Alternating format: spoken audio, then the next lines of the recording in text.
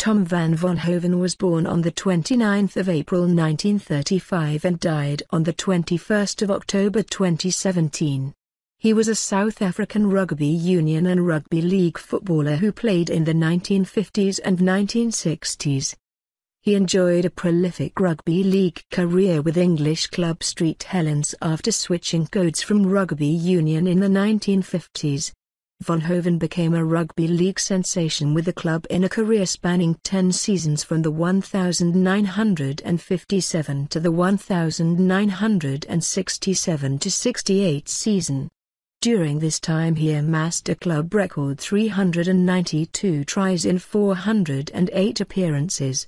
This includes a record 62 in the 1958-59 Northern Rugby Football League season. In 2000, he was inducted into the Rugby League Hall of Fame. He played rugby union for Northern Transvaal and scored a hat-trick for the Springboks against the British Lions, and then toured Australasia the following year with the national team before going to Britain to play professionally in 1957.